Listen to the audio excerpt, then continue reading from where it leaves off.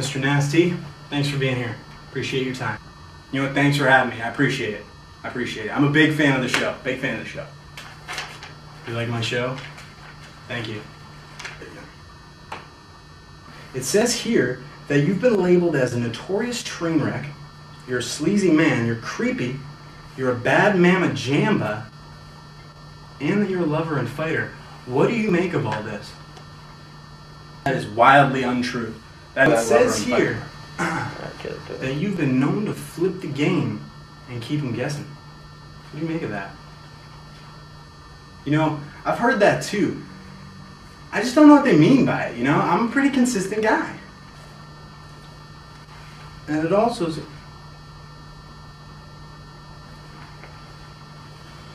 Okay. Hmm. Right. Well, it says here that you went to Jamaica. Oh, never been there in my life.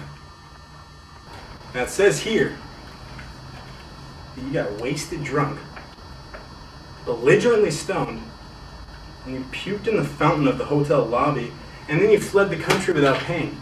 What do you make of all this? That wasn't even me, man. I don't even do drugs.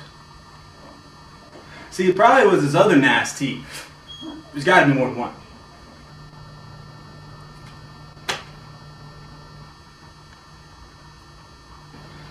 Well, after that, says here you uh, migrated to Miami for a few years. What do you make of that? After what? I never went to Jamaica, and hell no, I've never been to Miami. Oh, you didn't? You didn't go to Miami? So I guess this police report here, with the with the kilos of cocaine and the hooker. You know what? I appreciate this. I appreciate where you get your information from, okay? Because it's not me. You got somebody else, all right? It's not me. I'm gonna get up and leave. I'm out of here, all right? I'm out of here. Hey, well, you know what? You know what? Let's change gears here for a minute. Settle down. Let's go ahead and switch it up. Your childhood. You grew up in the redneck woods of New Hampshire. Is that right? Yes, sir. It's about the only true thing you said all day so far. Mm-hmm. Deep uh, New Hampshire. Deep redneck. Talking woods here. Mm-hmm.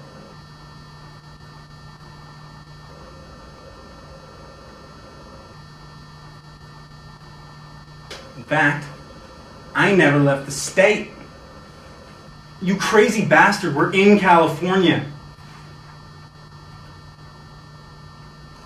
Oh, really? California, huh? Huh. Well, you see, I found religion after uh, I had a bit of a, a bad, uh, bad path there for a little while. I went to Jamaica, got completely wasted. I believe I went to Miami, did some cocaine for a little while. Uh, I then went ahead and you found religion. You found. You know what? I'm done. We're out of here. Cut. We're gone. I'm done. I can't work with this. Did I do something?